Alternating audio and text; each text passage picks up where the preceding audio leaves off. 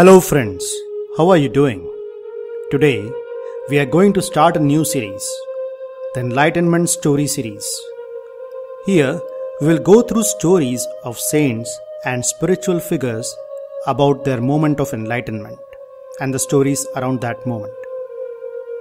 The first episode of the series is based on Avatar Meher Baba and the story around his moment of enlightenment. Well, before we go ahead, a big clap for our subscribers. We have crossed the milestone of 100 subscribers in no time. Thanks a lot for your likes, comments, and encouragement time to time throughout. Please keep commenting and liking. These are really, really great motivators. Thanks a lot. Well, for the new viewers, please like, share, and subscribe to my channel and press bell icon to get the new content notification at the right time. To start our story, Meher Baba, who was born as Merwan Sheriar Irani on 25th February 1894, was an Indian spiritual master who claimed to be his era's avatar or god in human form. A major spiritual figure of the 20th century, he was a central figure around the Meher Baba movement. At the age of 19, Meher Baba began a seven year period of spiritual transformation, during which he had encounters with Hazrat Babajan, Upasni Maharaj, Sai Baba of Shirdi, Tajuddin Baba, and Narayan Maharaj, whom he termed as the perfect masters of the era. His spiritual transformation began when he was 19 years old and lasted for 7 years. At the age of 19, he met Hazrat Babajan, an elderly Muslim saint. Hazrat Babajan's given name was Gulrukh. The girl was born to a royal Muslim family of Balochistan between 1790 and 1800. As Merwan, that is Meher Baba, rode by Babajan one day in May of 1913, he happened to glance at Babajan, who, at the very moment, looked at him, and with a nod of her head, beckoned him to her. Merwan could not disregard her. At once, he got off his bicycle and walked over to her.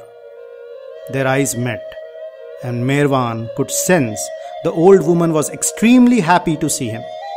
Babajan was eagerly awaiting him, and as Merwan approached her, he felt as he was magnetically drawn to her eyes. Babajan then stood up. With her arms spread wide, the ancient woman embraced Merwan with the fervor of mother finding her lost son. Tears started streaming down her wrinkled cheeks as she repeated, Mera pyara beta, Mera pyara beta, my beloved son. Baba Babajan often repeated to Merwan, My son, the treasure which you seek and the key to that treasure are not with me. I am not the one to give it to you. The treasure is yours. It is for you alone. There is no doubt about that. The treasure is yours. But my son, you must have the key. You must take the key. Babajan would always speak about this in a cryptic fashion. It seemed unclear what she meant. Then one night she spoke in a very clear manner. The treasure is yours to have now. The key is there. Go to Shirdi, my son. There is a Sai, a holy one there. Go and see the Sai. See if he will give you the key now. Take the key from Sai. It was during December 1915, after a difficult journey to Shirdi, the villagers there refused to allow Merwan to see Sai Baba. Merwan spent the night under a tree, and the following day, Sai Baba himself sent for Merwan. Sai Baba was then 77 years old, white bearded, dressed in a white kafni gown. Khodu, who was with Merwan, nervously walked up and bowed at Sai Baba's feet. And when he did, the old fakir slapped him on the back so hard that it knocked the breath out of him. Khodu was startled, and then Sai Baba inquired, Who is your friend? What does he want? His name is Merwan. Merwan Sheriar Irani.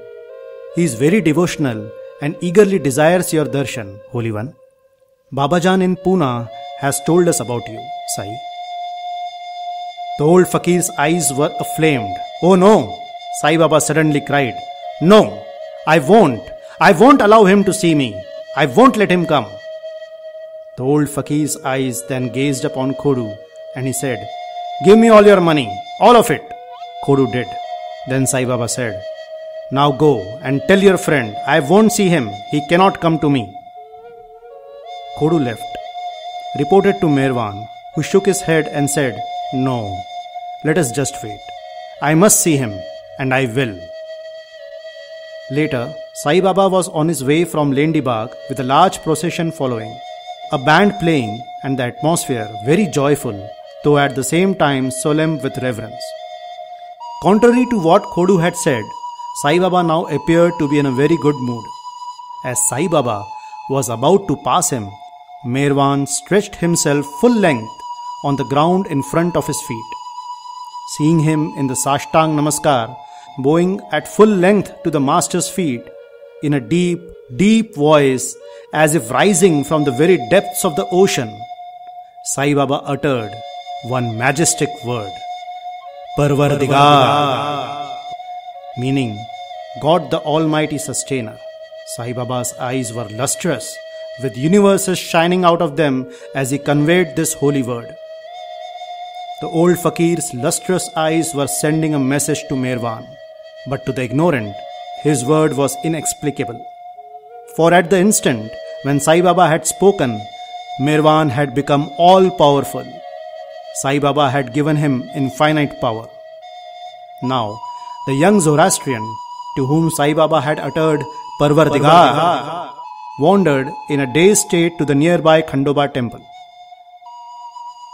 Upasni Maharaj, who had been living there, had again been fasting and was reduced to a skeleton.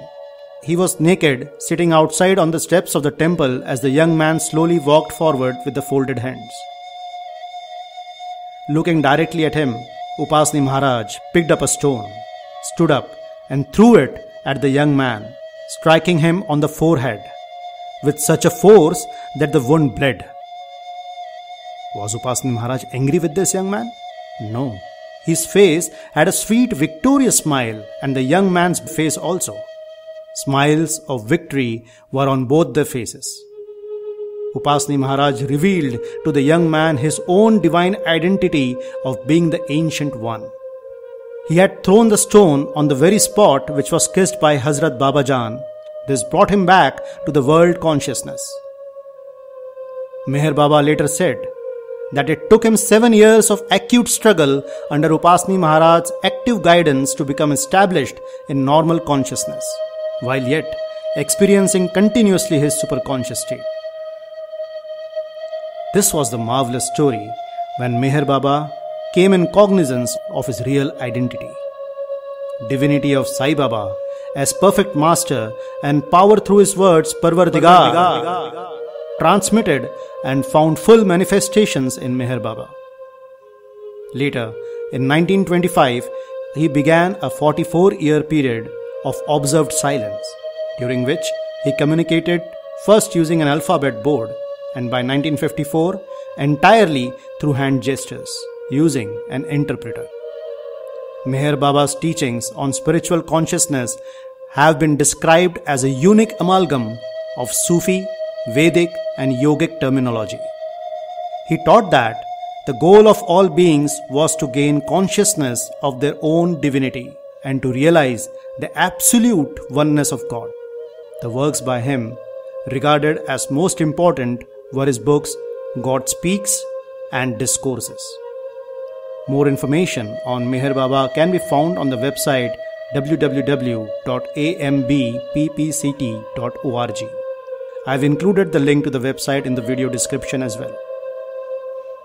I hope you like this story.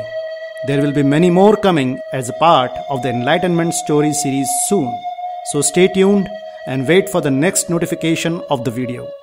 Well, at the end, I would like to request you all again to like the video, share the video among your friends, subscribe to my channel, and put your valuable thoughts and suggestions in the comment box. Until the next video, stay blessed, be happy. Thank you very much.